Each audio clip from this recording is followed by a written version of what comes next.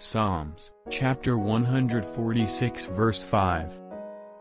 Blessed are those whose help is the God of Jacob, whose hope is in the Lord their God.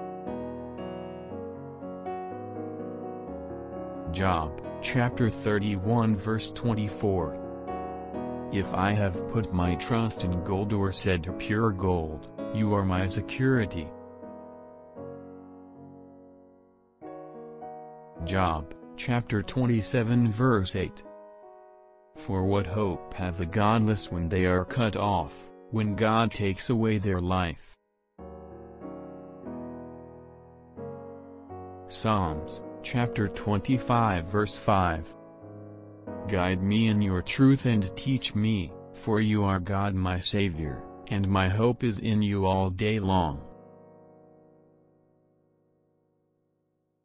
Ezekiel, chapter 37 verse 11. Then he said to me, Son of man, these bones are the whole house of Israel.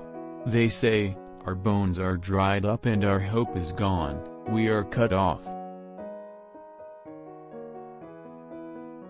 Psalms, chapter 33 verse 18. But the eyes of the Lord are on those who fear him, on those whose hope is in his unfailing love.